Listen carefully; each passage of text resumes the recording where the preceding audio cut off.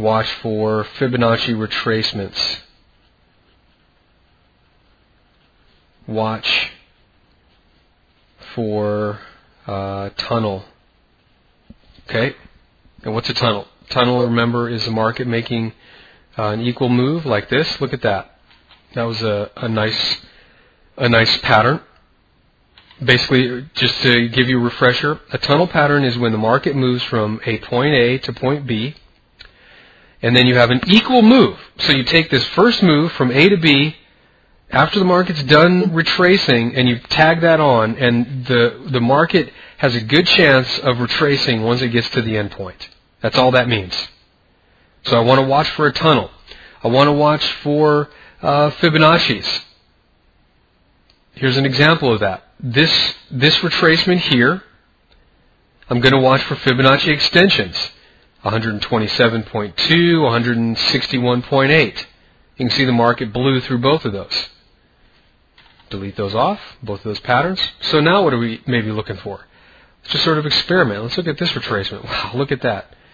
Market came right into the 1.272. So we had a tunnel pattern here plus the Fibonacci both pointing to the same area.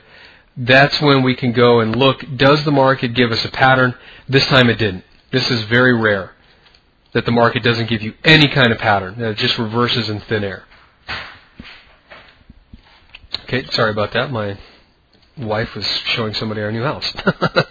um, so you had you didn't have you had a, a what I call a theoretical pattern, which means it's based purely on uh, ratio, Fibonacci ratio, and then price ratio. There wasn't a, a pattern like a, a flag, or uh, there wasn't a pattern like you know a pennant. But that doesn't mean you can't trade it.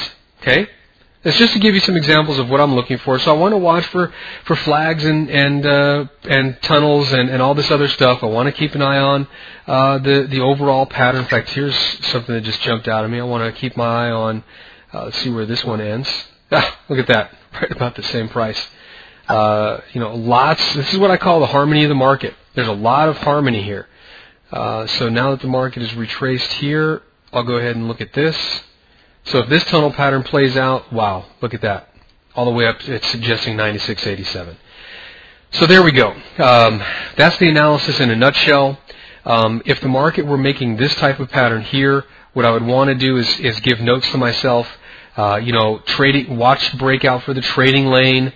Uh, you know, all of that because it's going to help me to be prepared for price when it gets to the point. Right now I've got 94.34 as my key area, and I'll just have to address what happens when the market opens. Remember,